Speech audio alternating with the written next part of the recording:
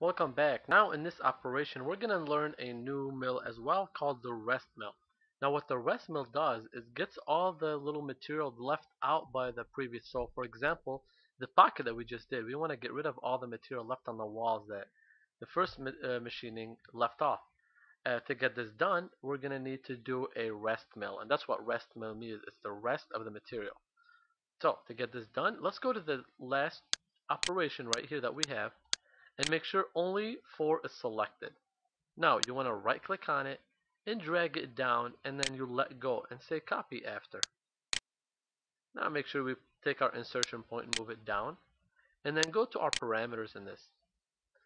Now let's go to tool and we're going to change our tool. We're going to make it a smaller tool than the 1 inch. So let's make it that quarter inch. Or if you want to make it a half inch that would be good too. But I'm going to keep it as a quarter inch tool, flat end mill, Go to cut parameters. Let's disable smoothing. We've already done the smoothing in the first operation. And to stock to leave on wall, we're going to change that to 0. Let's go to uh, cut depth, and we're going to keep it the same for cut depth. Go to transition and make sure helix is still enabled. Let's go to cut parameters, it's going to stay the same. So let's go ahead and click on apply, and OK. So let's go ahead and backplot and verify all my operations.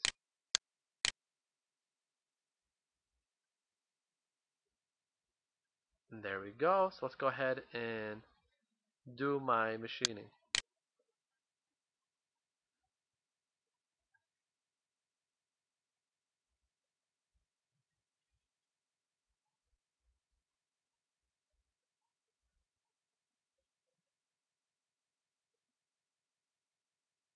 And there's my middle area mill pocketing in the middle.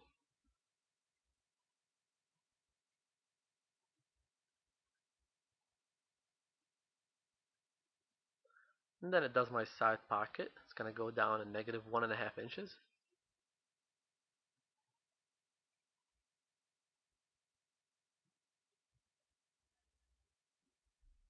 And it's basically taking off all the material that it left on the sides.